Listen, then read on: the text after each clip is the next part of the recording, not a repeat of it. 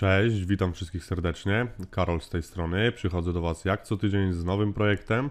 W tym tygodniu chciałem omówić projekt Selfk, ale zanim to zrobię, przypominam wszystkim o zapisywaniu się na listę mailingową umieszczoną pod tym filmem. Niedługo będziemy robić głosowanie na jaki projekt, jakiego projektu chcielibyście research, żebym zrobił i zapisując się na tą listę mailingową będziecie mieli prawo głosu.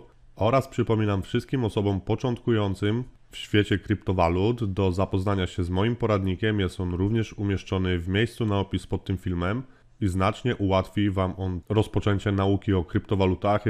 Jest on całkowicie darmowy i na pewno znajdziecie tam wiele cennych informacji.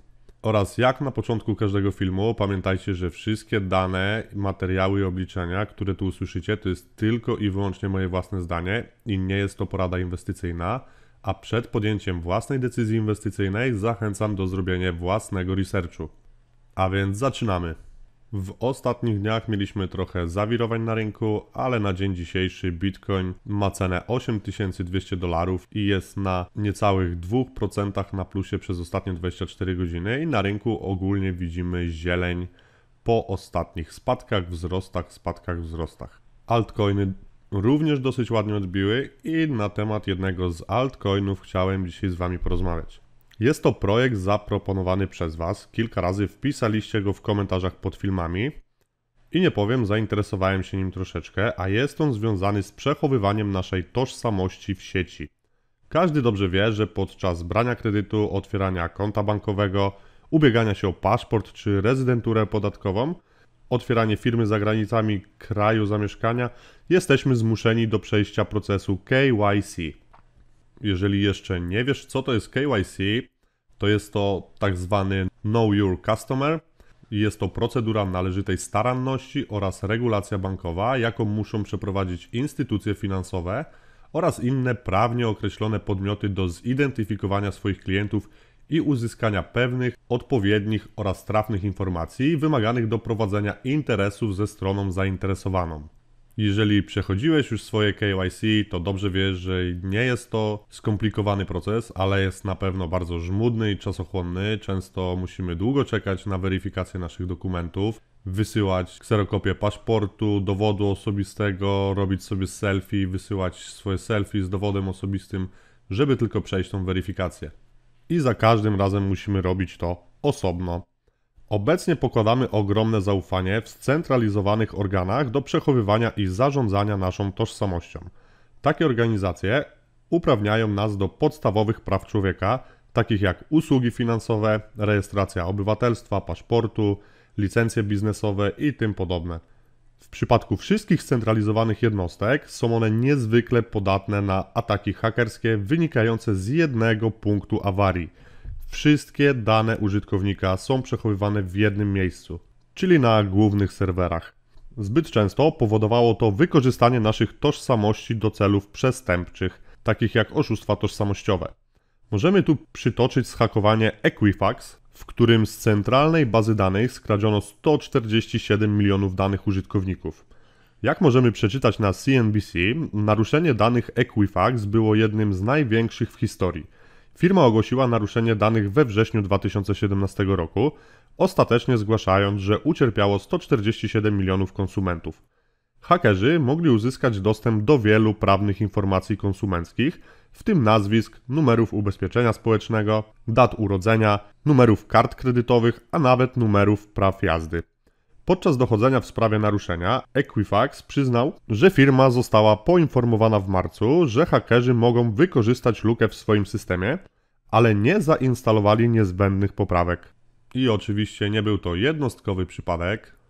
Na Wikipedii jest lista naruszeń danych wykorzystująca dane zebrane z różnych źródeł, w tym raporty prasowe, informacje prasowe rządu i artykuły z głównego nurtu. Lista obejmuje te, które dotyczą kradzieży co najmniej 300 tysięcy danych, chociaż ciągle dochodzi do wielu mniejszych naruszeń i jest to praktycznie niepoliczalne. Wymienia się również naruszenia dużych organizacji, w których liczba zapisów jest nadal nieznana. Wymieniono również różne metody stosowane w przypadku naruszeń, przy czym najczęstszym jest hakowanie. Tylko popatrzcie na te cyfry. Ja aż 3 miliardy skradzionych danych poprzez oczywiście zhakowanie. First American Corporation 885 milionów, Facebook 540 milionów, a i tak wszyscy korzystają z Facebooka. I tak dalej, i tak dalej. Tutaj mamy Yahoo drugi raz, pół miliarda skradzionych danych i również przez hakowanie. Equifax, o którym wspomniałem, jest na 12 miejscu i tu na Wikipedii jest mowa o 140 milionach skradzionych danych. Ale jakbyśmy to sumowali, to wychodzi nam niezła suma wszystkich pokrzywdzonych użytkowników. Wiecie co? Najgorsze w tym wszystkim jest to, że te duże firmy i korporacje cierpią na tych kradzieżach tylko finansowo, bo muszą zapłacić kary i odszkodowania oraz udoskonalić system. A najbardziej cierpią ofiary skradzionych danych, chociaż często nie zdają sobie z tego sprawy. Niewątpliwie jest to główny minus scentralizowanych systemów.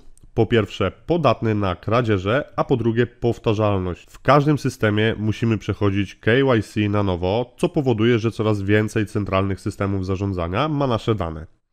I tu właśnie pojawia się SelfK. Jest to projekt stworzony przez Edmunda Lowella, uruchomiony został na początku 2018 roku na Kajmanach. SelfK zapewnia organizacjom i osobom całkowitą własność nad ich cyfrową tożsamością. Jest to niezależny system tożsamości oparty na blockchain, który może zapewniać użytkownikom kontrolę i zarządzanie tożsamościami cyfrowymi. Jest on również zdecentralizowanym portfelem kryptowalutowym open source. Jedną z wyróżniających się cech SelfKey jest samoobsługowe przechowywanie danych. Pozwala to zabezpieczyć dokumenty tożsamości i zasoby lokalnie, więc nie ma ryzyka poważnego naruszenia danych, jak w przypadku innych podobnych systemów. Dane masz na swoim urządzeniu i tylko ty masz do nich dostęp oraz władzę nad nimi. Na platformie SelfKey przechodzisz KYC raz. Jest ono zatwierdzane przez kwalifikowanych certyfikatorów. Następnie możesz udostępnić to uwierzytelnienie wiele razy kilku usługodawcom. To z kolei zapobiega marnowaniu czasu i wysiłku, jaki mamy w tradycyjnym procesie wprowadzania KYC, który zwykle jest uciążliwy. Trzeba tu zaznaczyć, że nie musisz udostępniać wszystkich danych usługodawcy, który wymaga KYC.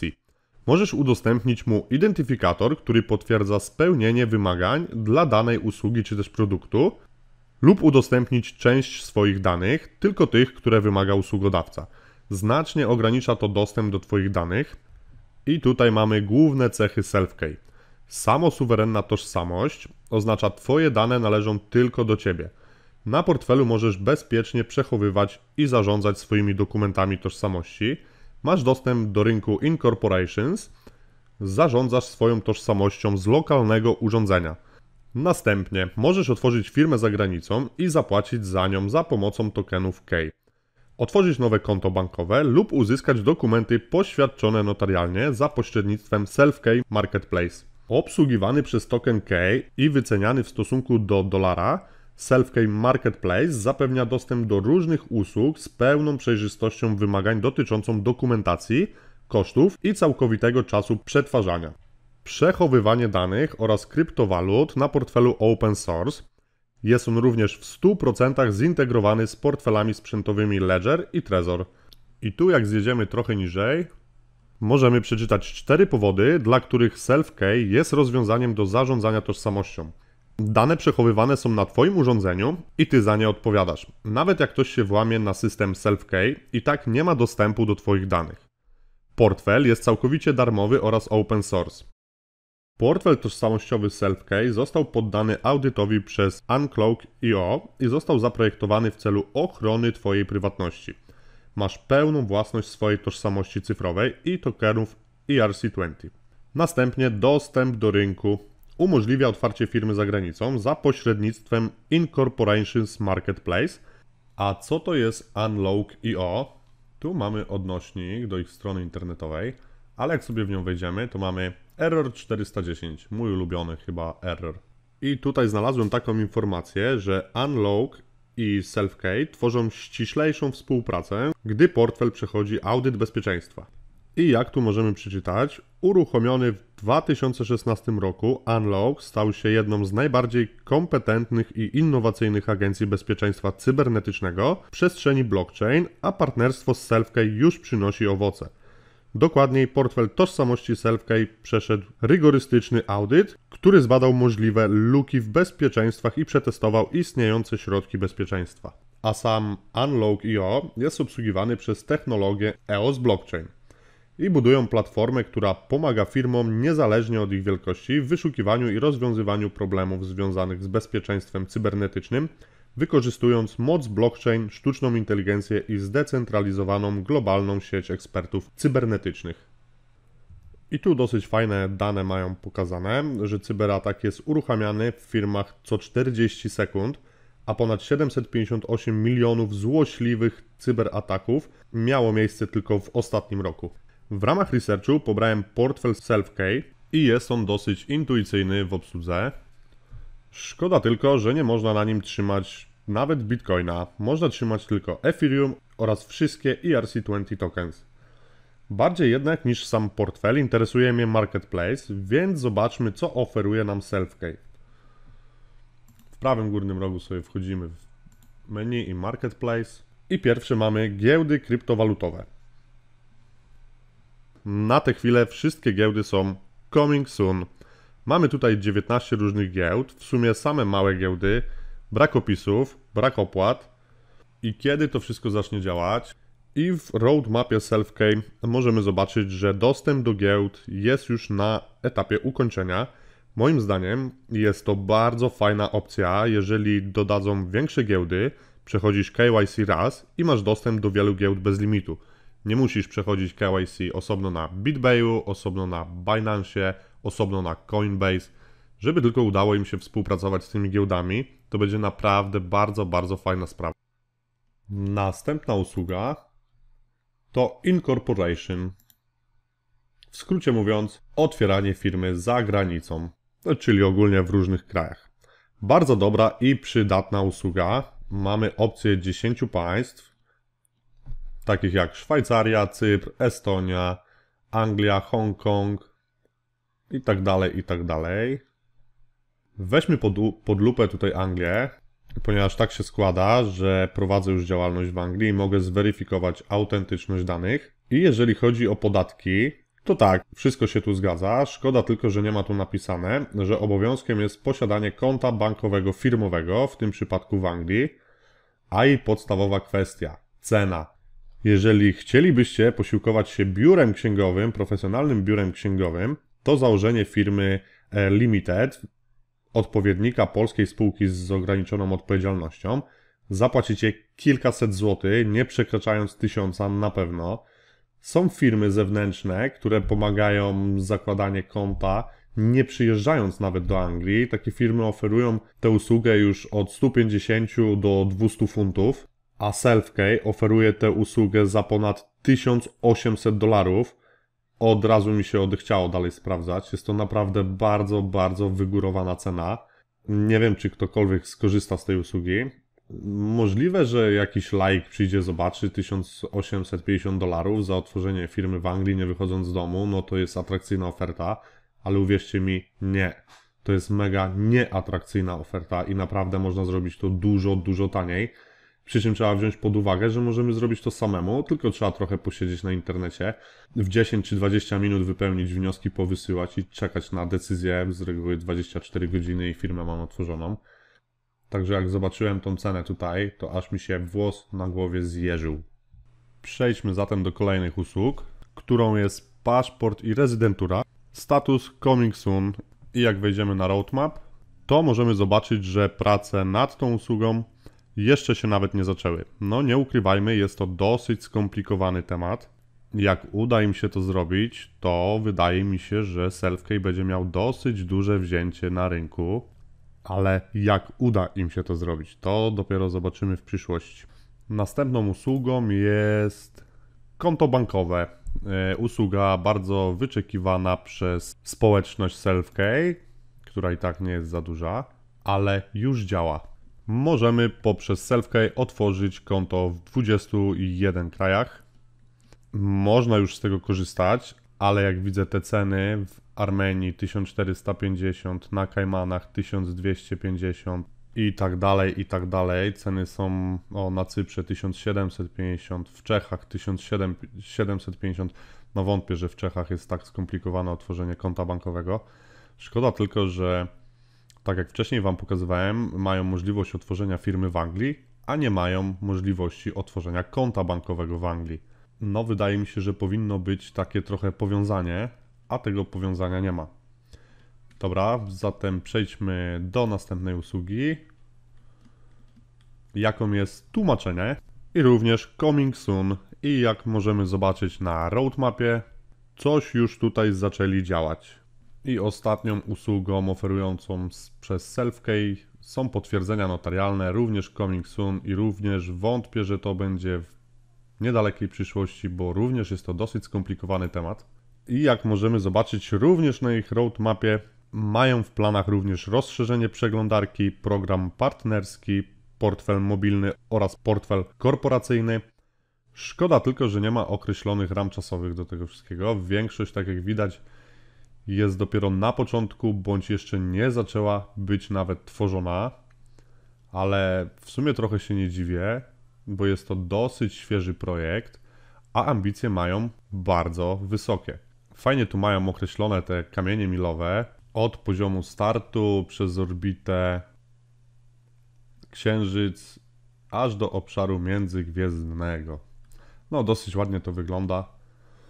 Zresztą jak cała strona Selfkey oraz ich portfel, bo trzeba przyznać, że jest dosyć intuicyjny, dosyć fajnie to wszystko wygląda, ale tak jak mówię, ma pewne nie dość, że braki, nie dość, że braki, to ceny usług są kosmiczne. Jedynie co mogę powiedzieć, to trzeba im przyznać, że naprawdę działają nad tym projektem, bo widać, że to wszystko posuwa się do przodu i ich niewielka społeczność jest dosyć zadowolona. A jeżeli już mowa o ich niewielkiej społeczności, to tak jak możemy zobaczyć na CoinGecko, na Reddicie mają niecałe 3000 subskrybentów, aktywnych kont lekko ponad 500, na Twitterze niecałe 24 tysiące followersów, na Facebooku zero. Oni mieli wcześniej konto na Facebooku, ale je usunęli. Na Telegramie 7000 użytkowników. Także trzeba przyznać, że społeczność jest dosyć mała. Tak jak wcześniej wspomniałem, Selfkey jest tokenem ERC20 i możemy go trzymać na ich dedykowanym portfelu bądź na każdym portfelu obsługującym ERC20 tokens. A ja tu dla Was znalazłem takie fajne zestawienie 20 najlepszych tokenów ERC20, na których możemy trzymać Ethereum oraz wszystkie tokeny ERC20 i na większości z nich możemy trzymać również Bitcoina i inne kryptowaluty. Niestety nie możemy tego trzymać na portfelu Selfkey. I tak w liście wymieniono na pierwszym miejscu portfele sprzętowe Ledger Nano S, Nano X, Trezor, następnie My Ether Wallet, Metamask, Atomic Wallet, Coinomi i tak dalej, i tak dalej. Jest to dosyć fajna strona, bo jak klikniemy sobie w odnośnik, to nas od razu przekierowuje na ich stronę internetową, na której możemy sobie zainstalować taki portfel, bądź pobrać, bądź otworzyć z instrukcją i ze wszystkim. Zostawię Wam ten link w miejscu na opis pod tym filmem. Jeżeli będziecie chcieli skorzystać, to będziecie wiedzieli, gdzie to szukać. Przejdźmy teraz do tokena SelfKey, e, ticker K. I tutaj też uważajcie, bo są dwa tokeny z tickerem K. Jest K projektu K oraz K projektu SelfKey. My oczywiście zajmujemy się SelfKeyem. Na dzień dzisiejszy kosztuje on 0,0011 dolara i jest on na niecałym 3% plusie w ciągu ostatnich 24 godzin. Jest on 549 w rankingu CoinMarketCap i moim zdaniem, jeżeli projekt dosyć szybko będzie się rozwijał, to da bardzo, bardzo ładnie zarobić. Market cap projektu to niecałe 3,5 miliona dolarów, wolumen 24-godzinny to ponad 33 tysiące dolarów, Aktualna ilość monet w obiegu to niecałe 3 miliardy, a całkowita ilość monet w obiegu to prawie 6 miliardów tokenów K. Jak zjedziemy trochę niżej, wejdziemy sobie w market, zobaczymy, że token K możemy kupić na Binance, Whitebit, KuCoin, Probit Exchange, Tidex. Ja oczywiście polecam Binance oraz KuCoin, są to duże i dosyć sprawdzone giełdy. Na KuCoinie jest mały wolumen, Także proponuję kupować na Binance. Jak zjedziemy trochę niżej, to możemy zobaczyć, że all-time high projektu wynosiło 9 centów dolara amerykańskiego i było to 15 stycznia 2018 roku. Czyli cena bardzo, bardzo mocno spadła. Jest on ponad 98% na minusie. ten wystrzał e, cenowy razem z all time high był oczywiście na początku, na wyjściu na giełdę. Później mieliśmy dosyć duże spadki i bardzo duży wzrost e, w połowie roku 2018. Teraz e, przejdziemy trochę do ICO. ICO było 14 lutego 2018 roku. Hard cap to 21 milionów 780 tysięcy dolarów i oczywiście udało im się to zbierać. Cena na ICO, jeden token K kosztował 0.015 dolara i w sprzedaży było dostępnych 33% całkowitych monet w obiegu, czyli 180 milionów tokenów K. W ICO nie mogli brać udziału użytkownicy z Chin, Nowej Zelandii oraz Stanów Zjednoczonych. Dystrybucja tokena K 1% na koszty 16,5% dla teamu, 33% na ICO, 33% dla społeczności oraz 16,5% na koszty. Przejdźmy teraz trochę do zespołu projektu K. Głównym założycielem Self-K jest Edmund Lowell. Na swojej stronie LinkedIn opisuje siebie jako przedsiębiorcę, którego umiejętności leżą na skrzyżowaniu finansów, technologii i prawa przepisów. Ponadto był zaangażowany w inne projekty związane z ochroną danych osobowych, samodzielną tożsamością cyfrową, systemy, blockchain oraz rozproszone księgi główne. Team zespołu jest dosyć duży, jest to bardzo doświadczony team, wykształcony, nie ma się tu czego przyczepić. Nie będę przedstawiał profilów LinkedIn, bo jest ich naprawdę sporo. E, na team główny składa się około 15 osób. Za projektowanie i rozwój jest odpowiedzialnych 13 osób oraz aspekty prawne i zajmuje się nimi 12 ludzi. Mają dużo doradców, bo około 30 doradców z różnych dziedzin prawa, technologii blockchain, internetu i tak dalej, i tak dalej. Dużo, dosyć dużo doradców mają. Wiele osób z teamu jest ściśle związanych z KYC Chain. Tak pozwoliłem sobie zobaczyć, co to jest. Firma KYC Chain jest założycielem Selfcade Foundation. KYC Chain Ltd. jest spółką z ograniczoną odpowiedzialnością zarejestrowaną w Hongkongu, która buduje tożsamość i technologię KYC. Głównym produktem KYC Chain jest oprogramowanie KYC przeznaczone dla firm takich jak instytucje finansowe, giełdy, kancelarie prawne, dostawcy usług korporacyjnych lub startupy fintech. Chociaż KYC Chain jest założycielem SelfK, są to oddzielne byty o różnej aktywności, produktach i docelowych odbiorach. Wiele funkcji SelfK Marketplace i przetwarzanie KYC partnerom jest obsługiwane przez KYC Chain. Myślę, że to by było tyle na temat teamu. Jeszcze raz powiem, jest to bardzo dobry, wykształcony team, który mam nadzieję, że wie co robi i jak na razie widać, że postęp w projekcie jest. Partnerzy SelfK nie mamy za dużo partners i wszystkie są ściśle związane z blockchainem. Przejdźmy teraz trochę do konkurencji. Jeżeli chodzi o nią, to nie znam drugiego takiego projektu. Są oczywiście platformy z Marketplace, inne do trzymania prywatnych danych, ale stricte taką platformę jak SelfK to nie kojarzę. Oceniam konkurencję jako małą. Tutaj na Coin Paprika, jak wejdziemy, mamy, mamy wymienionych wiele projektów, jednakże nie wszystkie zajmują się tym samym co SelfK. Na koniec standardowo przejdę do podsumowania projektu w postaci mocnych i słabych stron. Zacznijmy od minusów. Do minusów możemy na pewno zaliczyć społeczność. Jest ona dosyć mała, tak jak Wam przedstawiłem a to właśnie społeczność i zainteresowanie projektem jest odpowiedzialne za wzrost jego wartości. Koszty, e, koszty usług self-case są moim zdaniem zbyt, zbyt wygórowane. Tak jak powiedziałem na przykładzie otworzenia spółki z ograniczoną odpowiedzialnością w Anglii, realny koszt jest praktycznie zerowy, a jeżeli skorzystamy z usług firm zewnętrznych, to będzie nie przekraczało 1000 zł a Selfkey oferuje taką usługę za ponad 1800 dolarów, także koszty mają bardzo, bardzo duże i myślę, że tutaj powinni zacząć pracować, żeby te koszty zmniejszyć. Kolejnym minusem jest aspekt prawny i tutaj trzeba by się zastanowić, czy oni faktycznie uruchomią usługę potwierdzeń, potwierdzeń notarialnych, która jest w sumie bardzo ważna dla tego projektu, oraz paszport, rezydenturę czy obywatelstwo w innych krajach. Nie będzie to łatwa sprawa, mają dużo ludzi, który, którzy zajmują się aspektami prawnymi, ale będzie to naprawdę bardzo ciężkie do przeskoczenia i trzeba mieć to na uwadze. Następnym minusem jest marketing, którego ja nie zauważyłem. Praktycznie w ogóle tego marketingu nie ma. Kolejnym minusem, ja zaliczyłem to do minusów, ponieważ partnerów nie mają zbyt dużo i nie są to zbyt znane firmy. Zobaczymy, jak w przyszłości potoczą się ich partnerstwa. Miejmy nadzieję, że tutaj temat trochę bardziej się rozwinie. Kolejnym minusem jest portfel i tak jak mówiłem, obsługuje on tylko i wyłącznie Ethereum oraz tokeny ERC20. Nie ma nawet podstawowego Bitcoina. Mam nadzieję, że to się zmieni w niedługim czasie, ponieważ wydaje mi się, że powinien, że oni powinni mieć taki multi-wallet i możliwość wymieniania więcej kryptowalut na swój token K. Przejdźmy teraz trochę do plusów projektu. Do plusów projektu na pewno możemy zaliczyć ich rynek. Wydaje mi się to bardzo dobrą opcją i jeżeli uda im się to wszystko zrobić, to mogą wskoczyć nawet do pierwszej setki według market capu, ale to jest oczywiście tylko moje własne zdanie. Kolejnym plusem jest bardzo dobry, wykształcony oraz doświadczony team.